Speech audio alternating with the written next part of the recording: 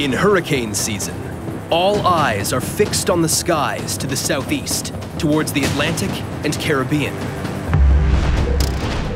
This is the usual route in for hurricanes. But just a few weeks into the season, meteorologists have spotted a threatening weather pattern coming from the opposite direction the north.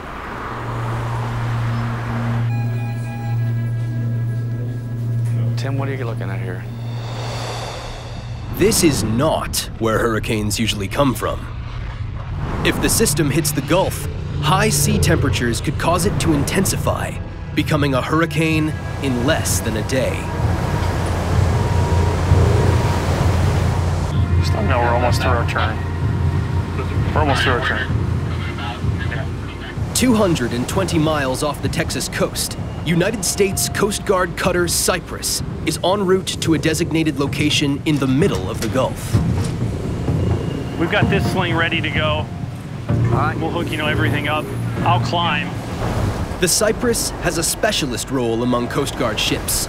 They work with the National Oceanic and Atmospheric Administration, or NOAA, to maintain their network of ocean weather monitoring buoys pretty important buoys. They provide data uh, in the Gulf of Mexico to give early warning of storms. A lot of commercial traffic goes through um, Gulf of Mexico. It's in trillions of dollars in terms of commercial industry, so pretty important mission. Today, the crew of the Cypress are deploying a weather buoy that will give NOAA live wind and wave data from more than 200 miles offshore. But the weather will play a big part in determining how smoothly this operation goes. We'll try to give you the best ride we can. I'm not sure how much of a lee we'll be able to give you. Conditions are going to pick up. All right. They will be setting a four ton concrete anchor, 12,000 feet of cable, and a fragile half million dollar weather buoy. Even in calm weather, this is a precarious operation.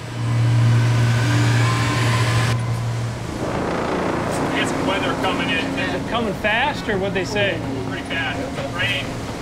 It's in the buoy out. Yeah, hopefully just in time before it starts pouring down rain, because it's coming.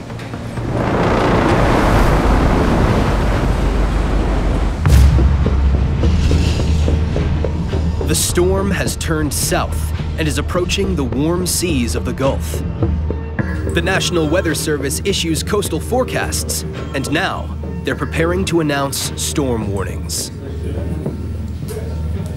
One reason we're getting concerned is it gets into the Gulf of Mexico, it's going to start getting into this much warmer air. So these reds here are much warmer water off the Louisiana coast over the next few days, where the upper level shear will become more favorable for intensification and development.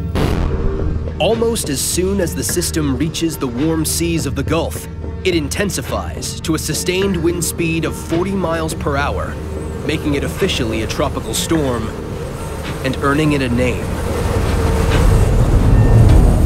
Barry.